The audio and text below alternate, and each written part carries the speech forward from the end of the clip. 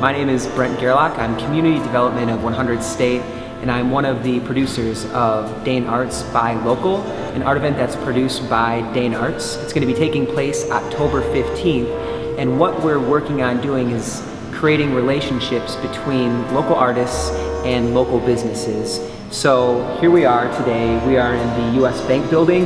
We just want to take a quick minute to give artists an idea of the space that they would essentially be exhibiting in. Um, we're going to be having 25 spots available and we are reaching out to various companies in Dane County including Epic, including MG&E, CUNA Mutual, a lot of the businesses that are actually in here at US Bank.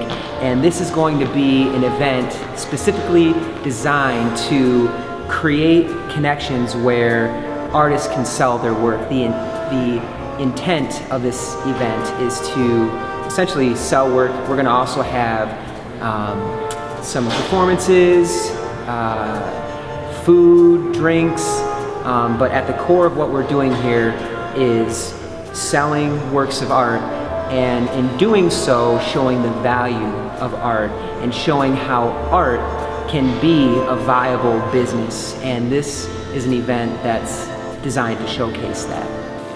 So Dane Arts Buy Local is going to be taking place again October 15th. It's going to be 4 p.m.